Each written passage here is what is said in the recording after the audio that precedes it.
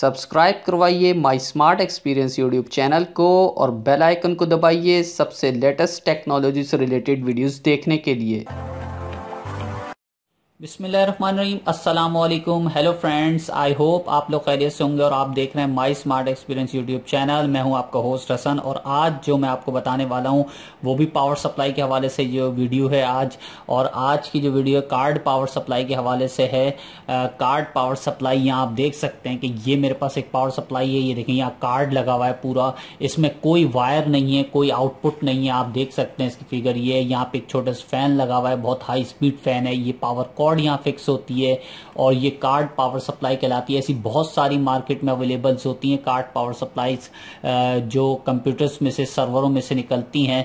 और यहाँ पे जो है आप देख सकते हैं कि ये यहाँ पे एक एक पॉइंट ये दिया हुआ है, यहाँ पे एक पॉइंट ये दिया हुआ है और ये यहाँ पे जो है तकरीबन पाँच छः पॉइंट यहाँ पे दिए हुए हैं।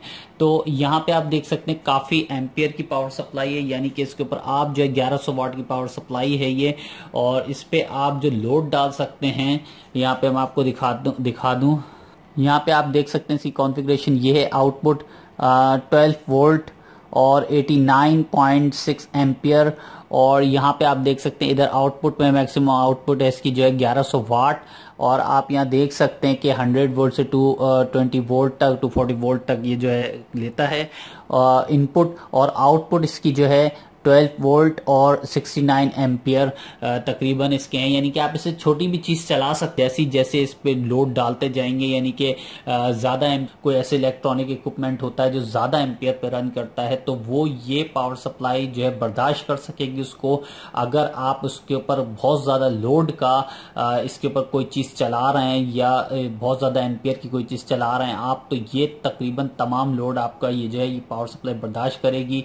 इसको मैंने पूरा खोल के देखा है तो यहाँ पे जो काफ़ी इसके अंदर हैवी जो है ट्रांसिस्टर लगे हुए हैं और हीट सिंक लगी हुई है और कैपेसिटर लगे हुए हैं और रेजिस्टेंस लगी हुई है और काफ़ी डायोड्स वगैरह लगी हुई है कैपेसिटर कॉयल वगैरह लगी ट्रांसफार्मर लगा हुआ है छोटा सा और काफ़ी कंपोनेंट इसके अंदर लगे हुए हैं जो इलेक्ट्रॉनिक कंपोनेंट होते हैं और काफ़ी हाई क्वालिटी के कंपोनेंट लगे हुए हैं और 69 नाइन की पावर सप्लाई आप इस पर हर चीज़ चला सकते हैं सिक्सटी नाइन तक का लोड जो है ये बर्दाश्त कर सकेगी पावर सप्लाई यानी कि इसके बहुत सारी चीज़ चला सकते हैं। पेल्टियर वगैरह भी आप इसके ऊपर चला सकते हैं। पेल्टियर बहुत अच्छा वर्क करेगा। छः सात पेल्टियर आराम से जो है इसके ऊपर चलेंगे। One two seven zero six one two seven one five के पेल्टियर जो हैं, वो आराम से चलेंगे इसके ऊपर। और ये, लेकिन इसमें आपको मैं एक और चीज़ बताता चलूँ। बहुत इंपॉर्टेंट है वो। मेरी नज़र में इंपॉर्टेंट है। अगर आप लोगों की नज़र में ना हो तो वो अलग बात है।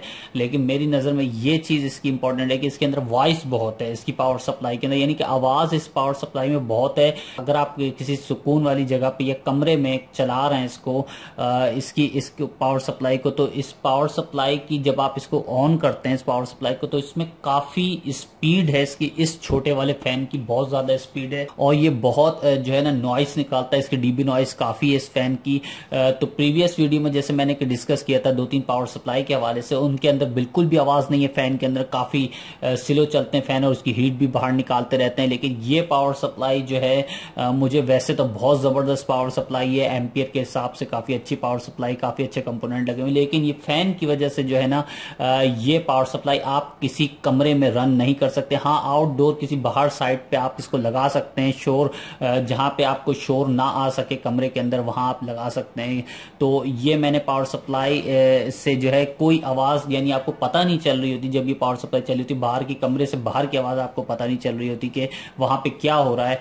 और ये पावर सप्लाई का इसका शोर काफ़ी ज़्यादा है। अभी मैं आपको स्टार्ट करके दिखाता हूँ और इसकी आउटपुट आपको बताता हूँ कि आप इसकी आउटपुट किस तरीके से फाइंड आउट कर सकते हैं इन तमाम कनेक्टर्स में से जो कि, क्योंकि इसके अंदर वायर तो दिया नहीं आप देख चुके हैं, यहाँ पे देख रहे होंगे आप इसके अंदर वायर नहीं, सिर्फ़ आपको ढूंढ के या तो इसके ऊपर सोल्डरिंग करनी होगी आपको, और या इसको ऊपर जो एक बहुत छोटी सी चिमटी आती है, बारीक सी जो तार को पकड़ने वाली होती है, उसको बहुत छोटी सी है, वो भी मैं आपको किसी वीडियो में आपको दिखा दूँगा, लेकिन बहुत छोटी सी वो इसके ऊपर आप अटैच करके आप इसकी पावर जो है, ले सकते हैं तार के ज़रिए से। चलें, मैं इसको जो है स्टार्ट करके दिखाता हूँ। आपको चलें, शुरू करते हैं, इसको स्टार्ट करके दिखाते हैं और इसका क्या परफॉर्मेंस है। सबसे पहले तो मैं आपको इसको जो है स्टार्ट करूँगा और आप अभी देखिएगा कि इसकी वॉइस इतनी होगी कि बंदा परेशान हो जाएगा कि यार इसकी वॉइस का क्या करें?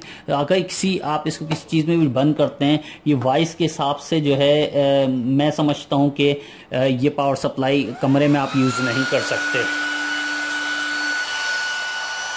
आप देख रहे होंगे काफ़ी, आपने देख लिया होगा कि काफ़ी ज़्यादा इसकी जो है वॉइस है। अब मैं आपको इसका जो है चेक कराता हूँ कि इसके वोल्ट किस तरीके से फाइंड आउट करेंगे। सबसे पहले आपको मैं बता दूँ ये ये जो है, इस वक्त जो है, ये माइनस है, ये माइनस है, ठीक है? और आप जो है, यहाँ से फ़र्स्ट वाला कनेक्टर छोड़ के सेकंड वाले पे आप लगाएँगे।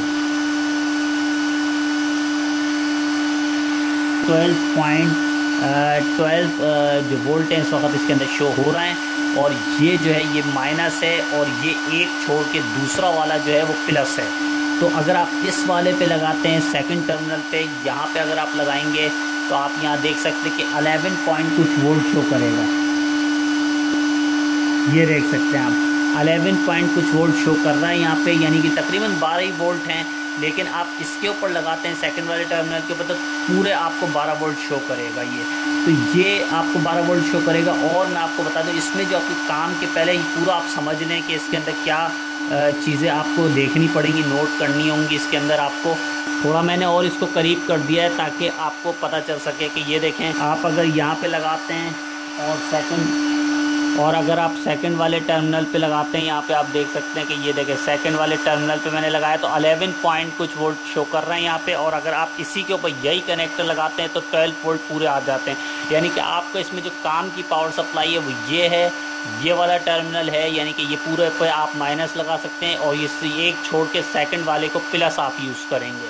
ठीक है, और यहाँ पर आप देख सकते हैं कि अगर मैं इसके ऊपर ये लगाता हूँ आप यहाँ देख सकते हैं कि मैंने सबसे लास्ट वाले टर्मिनल पे माइनस लगाया और और आ, सबसे राइट हैंड कॉर्नर साइड पे एक छोड़ के दूसरे वाले पे लगाया तो 11 वोल्ट दे रहे हैं। लेकिन आप जब इसके ऊपर कोई चीज़ चलाएँगे इन दो टर्मिनल के ऊपर तो ये नहीं चलेगी इसके ऊपर। इन टर्मिनल्स के ऊपर नहीं चलेगी क्योंकि आपको ये वाला माइनस जो है काम नहीं कर रहा है।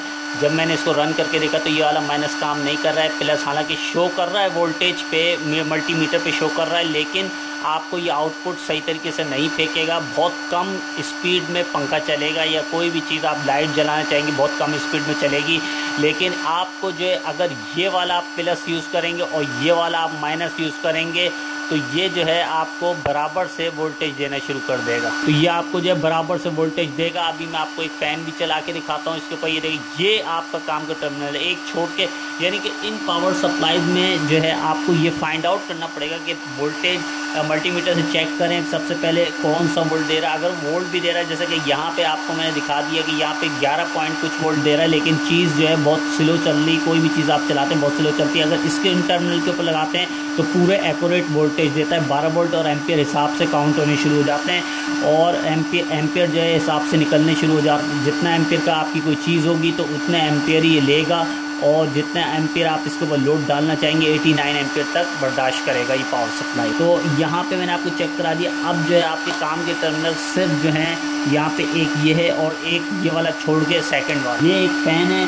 अब आप देखिएगा, मैं ये एक टर्मिनल पे मैंने माइनस लगा दिया, ठीक है? अब एक छोड़ के ये देखें, ये इस वक्त रन कर चुका है।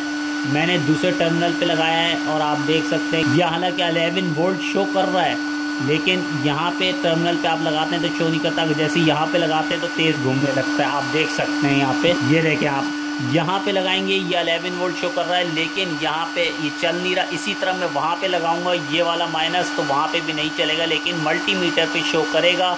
अलेवन पॉइंट कुछ वोल्ट अलेवन पॉइंट कुछ वोल्टेज शो करेगा। तो असल आपके टर्मिनल जो फाइंड आउट आपने करने, इस तरीके से करने के देखिए, यहाँ पे ये यह फ़ैन बिल्कुल काफ़ी स्पीड में चल रहा है और यहाँ पे आप देख सकते हैं। तो आपको मैंने यहाँ चला के दिखा दिया आपने देख लिया होगा ये बहुत ज़्यादा इस पावर सप्लाई का शोर है।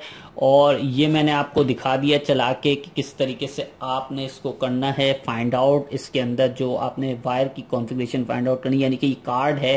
कार्ड के ऊपर सिर्फ़ आप यहाँ पे सोल्डरिंग भी कर सकते हैं और यहाँ पे आप सोल्डरिंग भी कर सकते हैं। बारीक चिमटी भी आती है, वो आप लगा के इसको यूज़ कर सकते हैं इसमें फंसा के और बहुत अच्छा वर्क करेगा। या गिलू टपका दें इसके ऊपर चिमटी जब आप इसके अंदर फंसाएँ तो गिलू लगा दें एडेसिव गिलू से तो वो भी काम करेगा आपके बराबर। अच्छा यहाँ पे जो है सिर्फ़ आपने जो टर्मिनल यहाँ पे 11 पॉइंट कुछ छोड़ शो करा था, लेकिन इसके ऊपर रन नहीं कर रहा था, यहाँ पे करेगा, बहुत स्लो रन करेगा, लेकिन ये जो है, ये माइनस है ये एक छोड़ के ही प्लस है। तो ये आपके दो टर्मिनल सिर्फ़ इसमें काम के हैं। दो आउटपुट आपके एक आउटपुट आपकी निकलेगी। 12 वोल्ट की फिक्स 12 वोल्ट निकलेंगे। आ, काफ़ी वाइज से क्योंकि ये जो फ़ैन है बहुत ज़्यादा स्पीड के फ़ैन इसके अंदर लगाए हुए अगर ये इसके ऊपर पूरा लोड डालते हैं तो काफ़ी हीटअप हो रही होती है पावर सप्लाई तो ये कूलिंग फ़ैन इसलिए बिल्ड किया गया है इन्होंने कि यहाँ से जो हीट रिलीज़ करता रहेगा इसके अंदर से। आई होप ये आपको वीडियो पसंद आई होगी। आपने अगर हमारा चैनल अभी तक सब्सक्राइब नहीं करवाया तो सब्सक्राइब करवा लीजिए और साथ में बेल के आइकन पे ज़रूर क्लिक करिए ताकि नेक्स्ट वीडियो के नोटिफिकेशन आपको बराबर मिलते रहें। Please don't forget to subscribe our channel thank you for watching our video